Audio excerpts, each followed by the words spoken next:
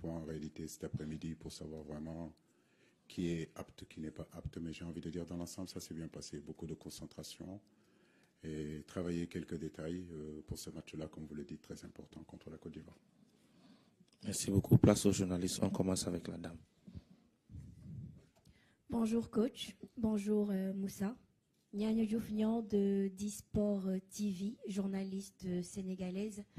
Ma question est adressée au coach.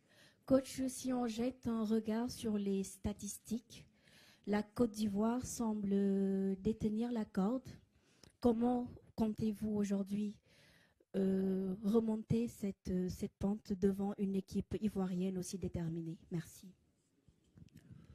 Je crois que les statistiques sont là. Euh, je n'ai pas en main euh, la possibilité de les, changer. Je ne pourrais pas changer le, passé avec tout ce qui s'est passé contre, la, contre la Côte d'Ivoire. Je l'ai toujours dit, nous, nous sommes dans le, dans le présent. Le passé, c'est le, le passé. Le futur, il n'y a rien de sûr à ça. Aujourd'hui, on est focus sur ces huitièmes de finale. Certes, le Sénégal a fait un bon début, mais tout ça, comme je le dis, demain, ça n'aura pas d'importance. Ça sera derrière nous.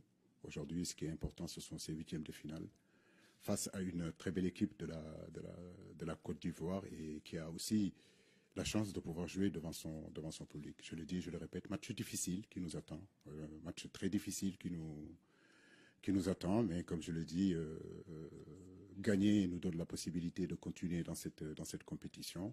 Perdre nous ramènerait à la, maison. Mais comme je le dis, ça n'a plus rien à voir du passé. Aujourd'hui, les neuf points que le Sénégal a engagés, c'est passé. Ce qui s'est passé en 92, c'est derrière nous. Ce qui s'est passé en 2014, c'est derrière nous.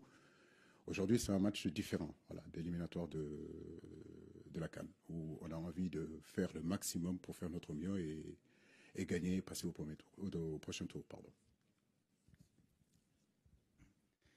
Bonjour Aliou. Emmanuel Baranguet pour euh, l'agence France Presse. On, comprend bien que c'est une toute nouvelle compétition qui commence, mais on a quand même l'impression que le Sénégal a beaucoup plus de certitude que la Côte d'Ivoire. Vous êtes qualifié comme premier, eux comme euh, 16e, et on a l'impression que eux sont en plein doute. Je ne vois pas la chose euh, comme ça. Comme je le dis, ce qui s'est passé dans ces premiers tours-là, c'est derrière nous. C'est fini. Maintenant, c'est une nouvelle compétition qui commence face à une très belle équipe, certes, qui a perdu ses deux derniers matchs contre le Nigeria et contre le contre la Guinée, la Guinée équatoriale, qui aura aujourd'hui envie, en réalité, devant son public, de se, de se rattacher, de se racheter. Nous en sommes, nous en sommes conscients, mais comme je l'ai dit, nous avons aussi des arguments à, à, à faire valoir. À nous de nous concentrer sur l'essentiel, c'est-à-dire le jeu. L'environnement, on la connaît. L'hostilité aussi qu'il y aura dans ce match-là, on connaît. Mais je crois que ce qui est important, c'est focus sur le match, focus sur notre plan de jeu. Et effectivement, nous avons des arguments à faire valoir sur ce match-là. Et nous, avons le désir aussi, nous, de nous qualifier de la même façon que la Côte d'Ivoire. La Côte d'Ivoire a été préparée pour aller au bout de cette compétition-là. Mais nous, nous sommes formatés aussi pour euh, défendre euh, notre, notre trophée.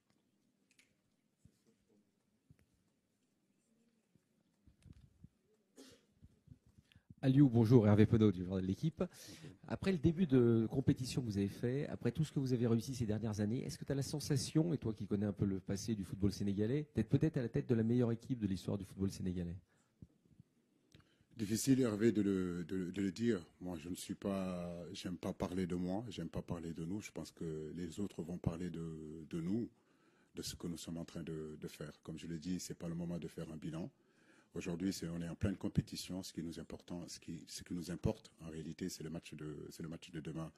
Après, comme je le dis, si le match de demain, par malheur, ça se passait mal, tous ces lauriers, tous, toutes ces choses qu'on nous dit, bah écoutez, on reviendra encore sur terre. Donc, euh, c'est ce qui est important, c'est surtout focus sur le match de demain et essayer de faire de notre mieux pour, euh, pour gagner ce match-là.